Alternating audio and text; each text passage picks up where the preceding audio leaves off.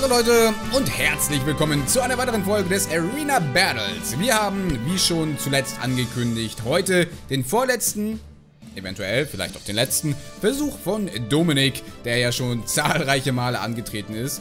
Ähm, ja, zuletzt gab es, glaube ich, ein sehr, sehr spannendes Duell zwischen uns beiden. Ich bin daher sehr gespannt, wie das ausgehen wird. Wir werden noch einmal auf das, meiner Meinung nach, stärkste Unlicht-Team, was wir so aufbieten können, zurückgreifen um Dominik hier noch ein letztes Mal oder ein vorletztes Mal in die Schranken zu weisen. Er benutzt ein Farbigel. Okay. Das ist gemein. Das spielt man in der Regel immer mit Pilzspore. Heißt, er könnte ein Pokémon von uns direkt einschläfern. Das ist echt gemein. Wir könnten daher mit Despota beginnen, weil Despota kann zumindest mit Kraftkoloss erstmal erstmal ähm, es auf ein KP runterbekommen, dann hat es einen Fokuscode und der Sandsturm erledigt den Rest. Das wäre jetzt so meine Idee, wie wir das hinkriegen könnten. Ansonsten sehe ich hier, glaube ich, nichts. Okay, das heißt, wir werden ausnahmsweise mal mit Despota beginnen. Für Pixie könnten wir es ganz gut gebrauchen, aber ansonsten, oder für Aquana, aber es wäre tatsächlich verzichtbar, glaube ich, in diesem Duell. Mist, ich habe mir nicht aufgeschrieben, die Pokémon. Egal, ich kriege sie, glaube ich, noch hin. Aquana, Logok, ähm, dann war da Durengard-Dingens, die Vorentwicklung. Dann war da, ähm, ähm, ähm, ähm, Farbigel auf jeden Fall. Und wer noch? Pixie, genau, dankeschön. Oh, wir haben Pixie gegen Despota. Das ist auch ziemlich nice eigentlich für den Beginn. Und Lucario war das noch. Okay, wir haben alle zusammenbekommen noch. Wunderbar. So, Sandsturm wirkt. Mm, in Ordnung. In Ordnung, in Ordnung, in Ordnung. Ja, gegen Durengard hätten wir so ein paar Probleme mit unserer Steinkante. Und gegen Lucario. Weil Lucario würde sie so abwehren. Deswegen glaube ich, dass er auf Durengard gehen könnte. Ich glaube jedenfalls nicht, dass er drin bleiben wird gegen Despotar. Und wenn er auf Durengard geht, könnten wir auf Knirscher setzen. Aber nicht, dass wir uns wieder so missplayen. Wir haben schon einmal gegen ihn super, super ungünstig begonnen. Ähm, aber ich gehe mal auf Knirscher. Ich vermute, dass Durengard kommen wird.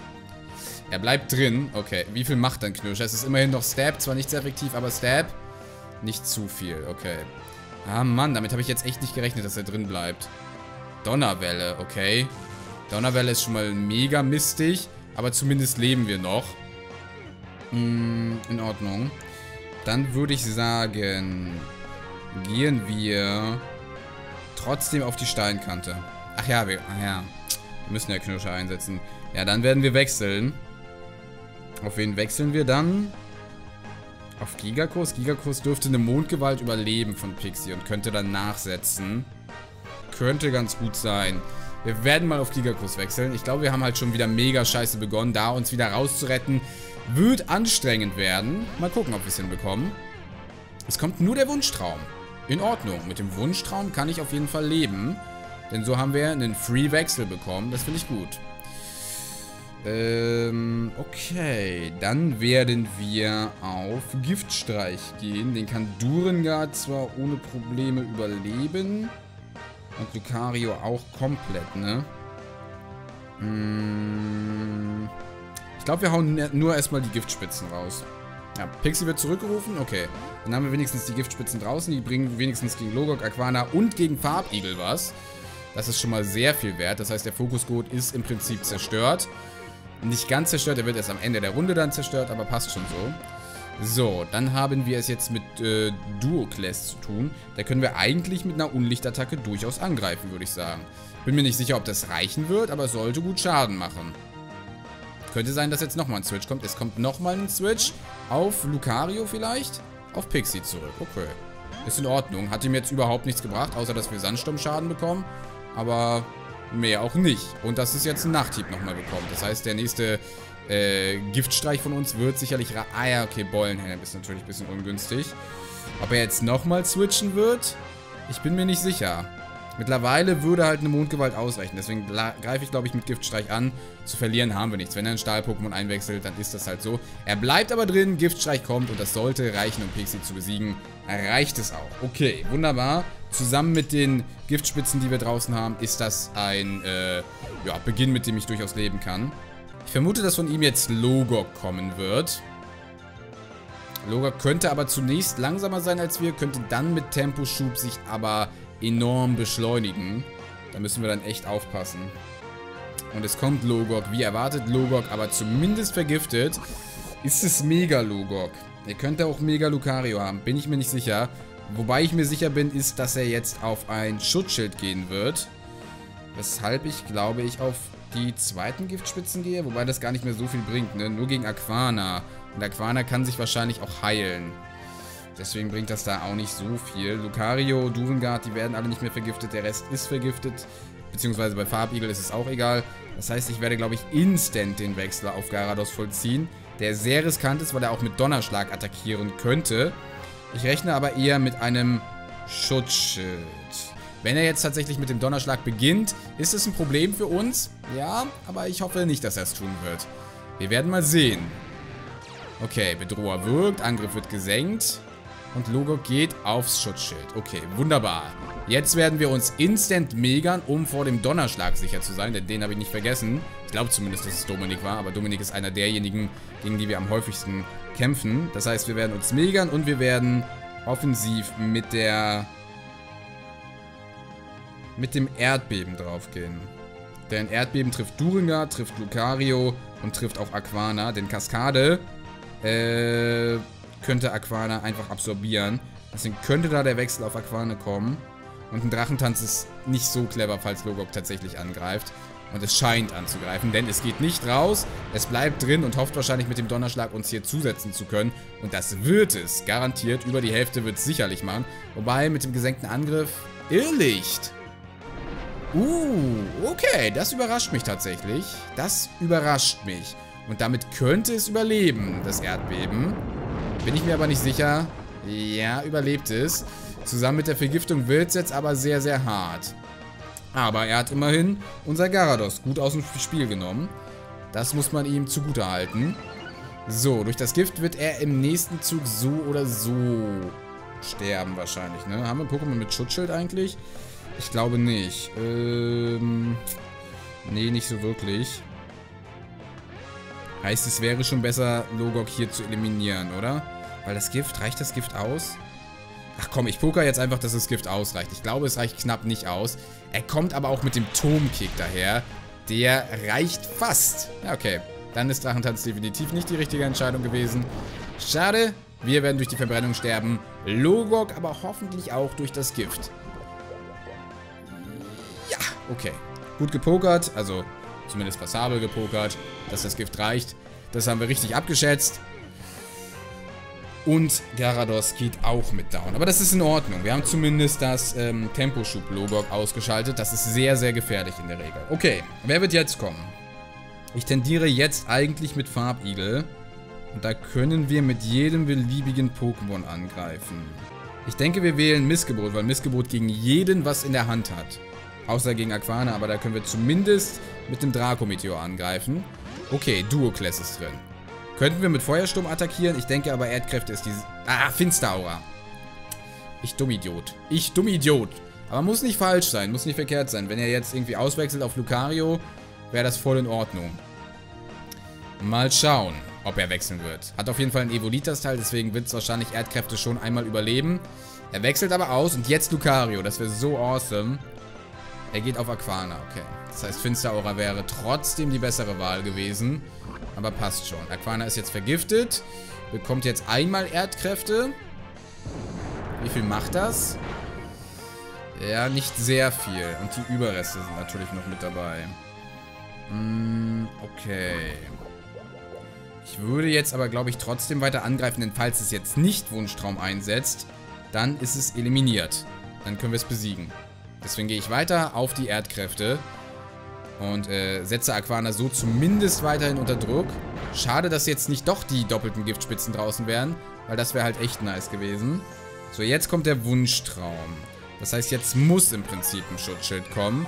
Heißt für uns, wir könnten wechseln. Das kann natürlich auch äh, riskant spielen und sagen, okay, ja, ich vermute einfach mal, dass er auswechselt, deswegen greife ich jetzt an und spare mir das Schutzschild auf. Könnte er machen. Wäre eine Option. Hm, auf wen würden wir dann gehen? Auf wen würden wir dann gehen? Despota wäre eher suboptimal, beziehungsweise auch nicht so verkehrt. Weil wir dann zumindest den Sandsturm draußen hätten, der Aquana noch mehr Schaden macht. Aber dann wäre halt ein Wechsel auf Lucario oder Durengard durchaus eine Möglichkeit. Während wir, wenn wir mit Mr. Sniff jetzt angreifen, glaube ich, ganz gut dabei sind. Kann sein, dass dann Siedewasser kommt. Kann sein, dass wir da Mr. Sniff jetzt opfern. Aber ich glaube nicht. Ich glaube, er wird auf ein Schutzschild gehen. Und ähm, ja, das wäre vollkommen in Ordnung. Er geht auf ein Schutzschild. Perfekt. Wunderbar. Da kommt der Wunschtraum. Ja, der halt schon ein bisschen, aber Gift regelt dann gleich. Und wir können Abschlag noch mit dazugeben. Das heißt, dann ist zumindest, sind zumindest die Überreste auch noch weg. So. Okay, von ihm wäre jetzt einzig sinnvoll ein Wechsel auf Lucario. Wir könnten uns sogar Schwert dancen. Weil er wird nicht zulassen, dass wir jetzt mit Abschlag angreifen, oder? Ich gehe auf Schwertanz. Er ruft Aquana zurück. Wer kommt jetzt rein? Lucario, denke ich, oder? Lucario kommt rein. Wir überleben aber eine Attacke von Lucario auf jeden Fall. Das müssen wir bedenken. Und es ist ein Shiny. Das heißt, es hat vielleicht nicht unbedingt die besten Werte. Das äh, ist eine weitere Möglichkeit, die hier in Frage kommt. Deswegen könnten wir mit Eiszapfhagel angreifen. Ich weiß nicht, ob es doppelt nicht sehr effektiv ist, aber ich glaube nicht. Deswegen würde ich es einfach mal machen und gucken, ob wir die Hälfte erziehen können. Lucario Need wird auf jeden Fall erstmal ausgelöst. Das ist in Ordnung. Es ist auch schon gut, dass wir Lucario rausgelockt haben. So ist es nicht. Das ist auch schon sehr viel wert. So, wir sind schneller. Eiszapfhagel kommt bitte über die Hälfte. Das wäre sehr wichtig.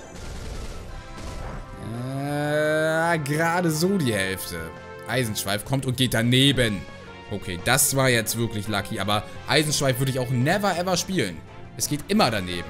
Habt ihr auch schon fleißig mit in die Kommentare geschrieben. Eisenschweif trifft nie. Es hat keine Genauigkeit von 70 oder so. Nein, von, von 5 vielleicht. Es trifft seltener als ein Hornbohrer. Also, von Eisenschweif kann ich euch persönlich nur abraten. Okay, er wechselt aus. Geht dann, denke ich, auf Duoclass.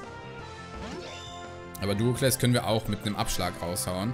Also, also da besteht auch überhaupt keine Gefahr. Er kann da mit dem Schattenstoß wahrscheinlich jetzt noch unseren Fokuscode zerstören. Das wäre wahrscheinlich schon mal sehr wichtig. Aber wir bleiben drin. Wir sind gerade gut gepusht. Deswegen gehen wir hier auf... Er geht nicht auf einen Schattenstoß. Okay, ja, dann ist Duoclass eliminiert. Abschlag und Volltreffer. Abschlag hat schon eine Stärke von 130, bekommt noch Stab plus doppelter Push von Schwertanz plus den Volltreffer. Das, dass das gereicht hat, das wundert mich jetzt mal überhaupt nicht. Okay. So, jetzt kommt Farbigel. Hm, okay. So, Douglas haben wir down. Farbigel ist halt vergiftet. Farbigel kann uns jetzt aber einschläfern.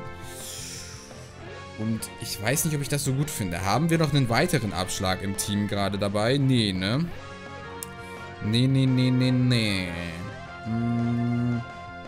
Einschläfern will es uns. Dann wäre doch Despota eigentlich eine gute Variante, oder? Wir gehen mal auf Despota. Despota kann nicht mehr eingeschläfert werden. Finde ich von daher ganz gut. Und ich weiß nicht, was sonst kommen sollte, außer Pilzspore jetzt. Kann sein, dass es die Mega-Taktik auf Doom hat. Farbigel kann ja theoretisch alles haben. Aber soweit ich weiß, hat Farbigel eigentlich immer Pilzspore drauf. Notsituation. Okay. Das hat er mit dem Fokus gut gerechnet. Na gut, dann passen wir unsere KP halt einander an. Ich denke, das ist in Ordnung. Das war, war nicht unclever.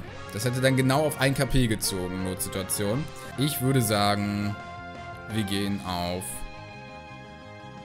Ich glaube, er bleibt drin. Aber wir gehen mal auf den Kraftkoloss. Er setzt Notsituation ein, ist aber schneller als wir, daher bringt das jetzt nicht so viel. Und wir sind paralysiert. Okay. Naja, Farbigel wird jetzt wieder durch Gift und Sandsturm ein bisschen was verlieren. Kann uns dadurch im Prinzip wieder Schaden zufügen.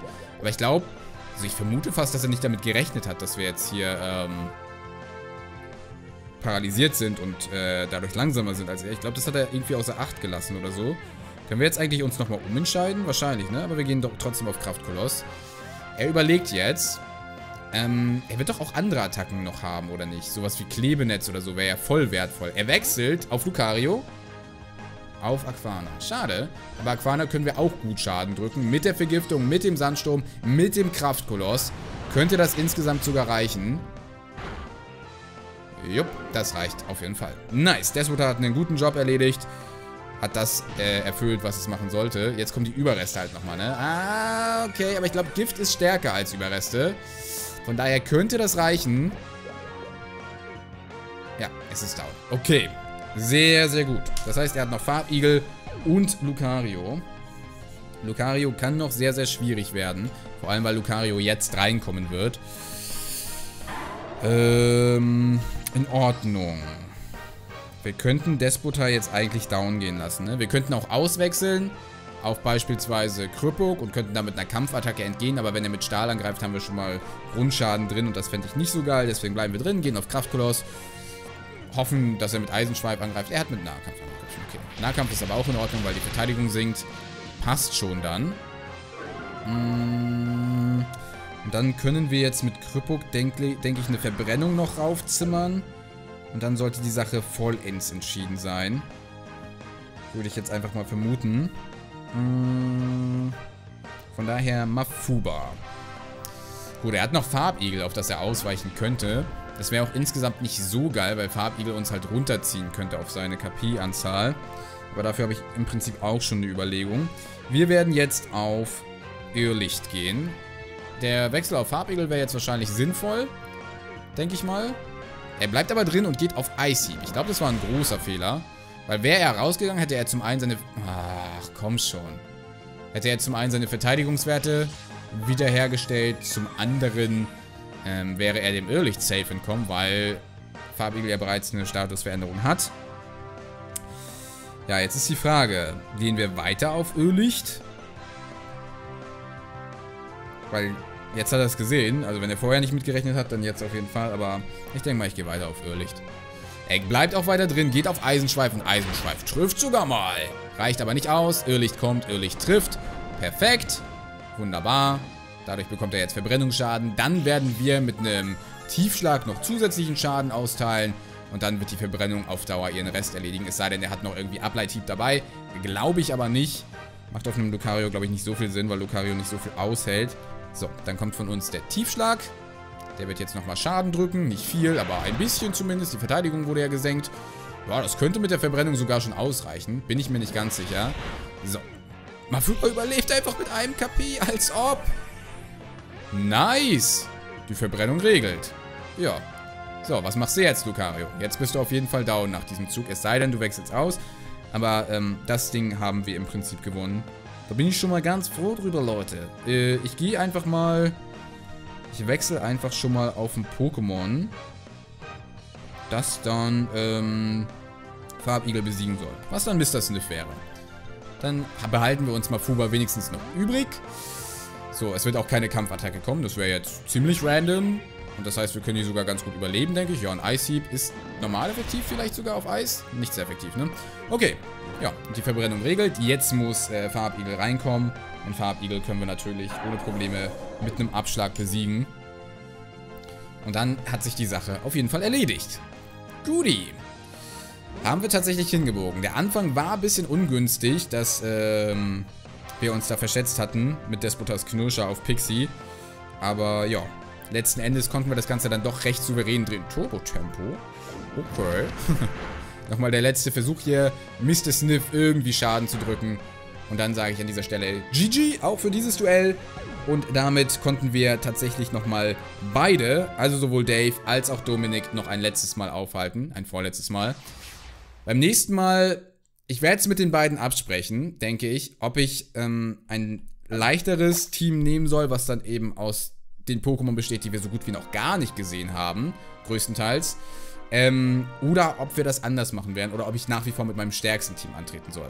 Weil ich finde es teilweise immer sehr ähm, arschig, asozial. Also ich persönlich wäre, glaube ich, gekränkt, wenn ich nicht nochmal die Chance bekommen würde, gegen das stärkste Team, gegen das, also mit den Orden wirklich rechtmäßig zu verdienen, sag ich jetzt einfach mal, wenn ihr versteht, was ich meine. Weil wenn es ein leichteres Team ist, dann ist es nicht so viel wert, wie wenn man es gegen das starke Team schaffen würde. Aber den, die Wahl überlasse ich den beiden. Ich gebe natürlich auch mit dem schwächeren Team dann durchaus mein Bestes, aber ich wollte einfach meinen Pokémon, die jetzt nicht so oft zur Geltung gekommen sind, noch einmal eine Chance geben. Und von daher schauen wir einfach mal, wofür sich Dave und Dominik entscheiden werden. Das werden wir dann in den nächsten Folgen des Arena Battles herausfinden, wo dann unsere letzten zwei Arena-Duelle auf uns warten werden. Dave und Dominik noch einmal letzte Chance für die beiden, den Orden zu holen. Ich drücke Ihnen die Daumen. Bis zum nächsten Mal. Bis dahin und tschüss. Wir machen jetzt weiter mit einem Kampf, den wir schon sehr häufig gesehen haben. Nojiko gegen Kaitos. Und das ist der erste von den drei legendären Alles- oder Nichts-Kämpfen. Denn wir haben noch drei Teilnehmer drin, die nur noch einen Orden brauchen. Das sind Dominik, Dave und Kaitos. Dominik und Dave brauchen meinen Orden, Kaitos braucht den Orden von Nujiko. Und alle drei haben nur noch einen letzten Versuch. Bedeutet, das ist das letzte Duell, Nujiko gegen Kaitos. Entweder kann Kaitos sich jetzt hier den Orden holen oder Nujiko kann sie von der Liga fernhalten. Und das gleiche gilt eben auch in den kommenden Tagen für die Duelle ich gegen Dominik und ich gegen Dave. Kann ich auch beide noch davon abhalten, kann ich aber beiden auch noch den Orden geben. Von daher, das werden jetzt super, super spannende Duelle und wir gucken rein in das letzte Aufeinandertreffen, das letzte Mal, den Kampf der Lüfte. Ja, Nujiko hat an ihrem Team nichts verändert, hat bisher ja auch immer wunderbar geklappt. Kaitos hat jetzt ein Viskogon dabei. Ich glaube, das haben wir so auch noch nicht gesehen. Ähm, also bei ihr zumindest nicht. Und Glurak, Monaguras. Ich hoffe, Monaguras kommt jetzt mal direkt mit den Tarnsteinen vielleicht. Ähm, vielleicht hat sie sich aber auch was anderes überlegt. Wir werden es sehen. Bei äh, Shakreo war es ja zuletzt eine wirklich gute Leistung. Ähm, Sidra King, Trigefalo und Garados gegen Garados. Das darf natürlich auch nicht fehlen. Wir gucken rein in das erste Alles- oder Nichts-Duell. Auf geht's! Bedeutet also insgesamt auch für euch nur noch drei Liga-Battles. Ja. Äh, drei Arena-Battles. Liga-Battles wird es noch einige geben, aber Arena-Battles, na, die neigen sich jetzt wirklich dem Ende zu. Wir haben wieder das Aufeinandertreffen. Garados gegen Uhafnir. Ich glaube, das hatten wir schon mal zu Beginn. Und Uhafnir ist halt im Vorteil, Amphitrite kommt und es kommt nur Orkan, aber Orkan immerhin.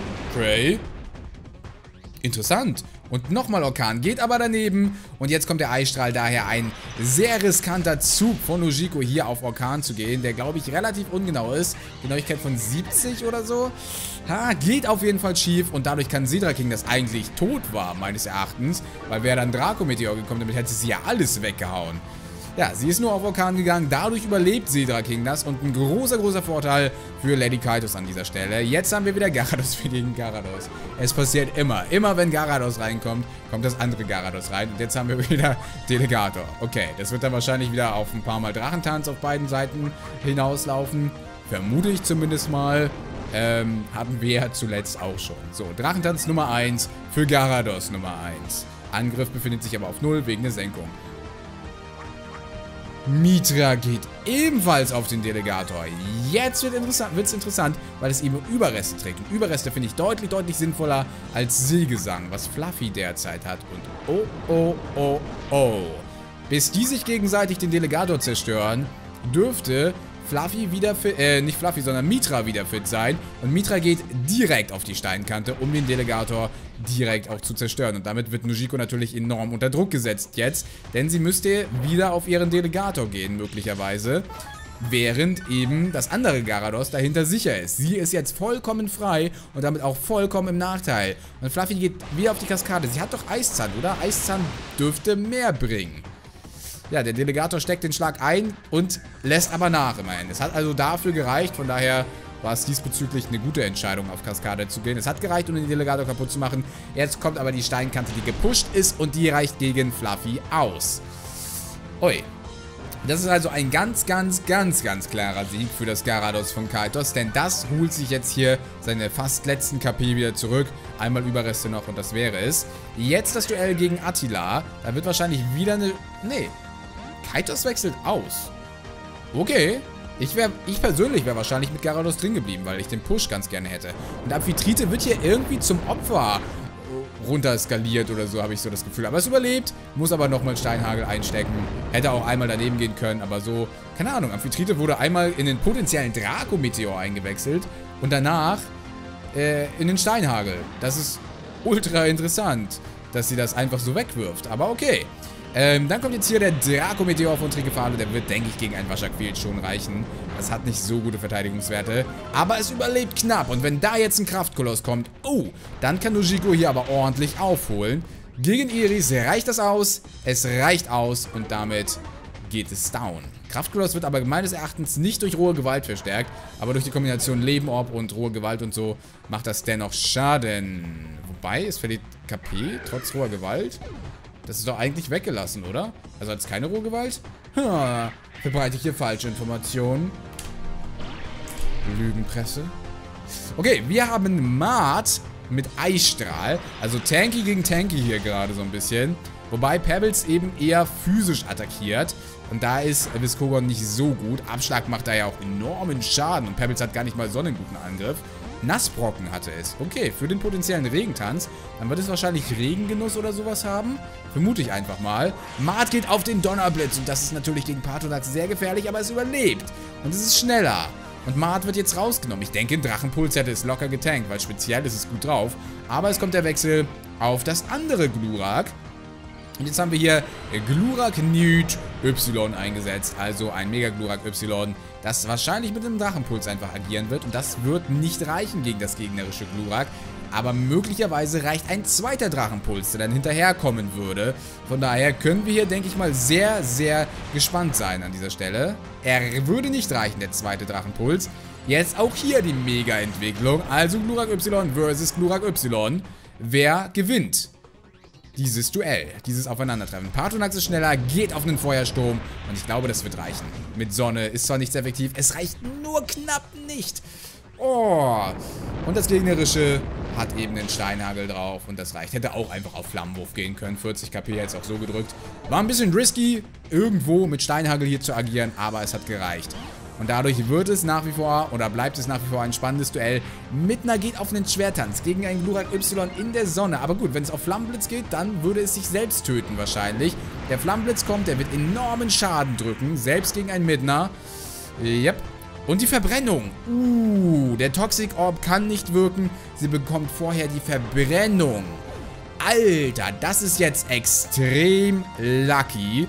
Denn das macht gut Schaden, halbiert den Angriff. Damit ist, Miet, äh, damit ist ähm, äh, äh, äh Skorgro im Prinzip raus. Der Angriff wird noch weiter gesenkt. Das macht hier da auszuwechseln. Ich glaube, das macht keinen großen Sinn. Ich hätte an dieser Stelle einfach... Na, wobei... Ah, da es auf Delegator und so geht, boah, vielleicht macht es schon Sinn, da den Wechsel noch zu vollziehen.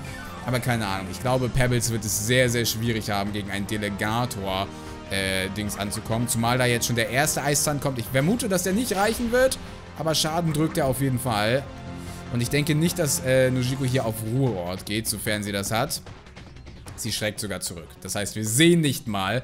Also jetzt einmal die Verbrennung, mega Lack gehabt. Also ich weiß nicht, ob es wirklich relevant war, aber da die Verbrennung zu bekommen vor der Vergiftung und damit im Prinzip Skorgro komplett zu zerstören, das war schon hart lucky. Jetzt hier das Zurückschreckende. Ich glaube, Pebbles hätte halt nicht so viel machen können, außer es hätte sich eben mit Ruheort nochmal geheilt. Dann wäre da vielleicht ein bisschen was drin gewesen. So geht Pebbles an dieser Stelle down. Mitra kann sich wieder ein bisschen zurückheilen. Ähm, versteckt sich hinter dem Delegator und mit nah ist jetzt, glaube ich, tatsächlich das letzte Pokémon. Da kommt nochmal eine Verzweiflungsfassade die halt auch gut Schaden macht, denke ich mal, äh, trotz der Verbrennung. Delegator lässt also nach, aber der Eiszahn wird definitiv reichen. Keine Chance für Mittner, das hier zu überleben. Und daher ein sehr interessantes Duell gewesen. Gerade der Anfang war komisch mit Orkan statt mit Draco-Meteor. Da wollte sie wahrscheinlich, wollte Nujiko wahrscheinlich einfach nur nicht den äh, Dings bekommen. Ähm, den, den Orkan, weil ihr sicherlich bewusst war, wenn ich jetzt ein Draco-Meteor kommt, dann wäre Sidra King down. Deswegen wird sie wahrscheinlich irgendwie auswechseln und ist deswegen nur auf Orkan gegangen. Vielleicht war das die Überlegung dahinter. Ansonsten keine Ahnung, warum sie es getan hat. Ähm, und dann war es ein wirklich sehr interessantes Duell. Glu äh, äh, Garados gegen Garados, was Kaitos für sich entscheiden konnte. Dann Glurak gegen Glurak, was Kaitos für sich entscheiden konnte. Und ähm, Skorgro dann vernichtet Und Waschak-Wir auch schnell rausgenommen. Das war ein schönes Duell und daher hast du dir auch den Orden für dein Durchhaltevermögen verdient. War ja jetzt Kampf Nummer 4 innerhalb von relativ kurzer Zeit. Und hier der Flugorden für dich an dieser Stelle und damit nicht nur der Orden, sondern auch der Eintritt zur Pokémon-Liga. Wir haben also einen neuen Kandidaten für die Liga. Viel, viel Erfolg dabei. Und äh, das mit dem Drachenteam zu rocken, das wird, denke ich, extrem schwierig, aber gleichzeitig auch extrem interessant. Von daher, ich drücke die Däumchen und wir sehen uns dann in der nächsten Folge wieder. Und Katos, wir sehen uns hoffentlich in der Liga wieder. Von daher, bis zum nächsten Mal, bis dahin und tschüss.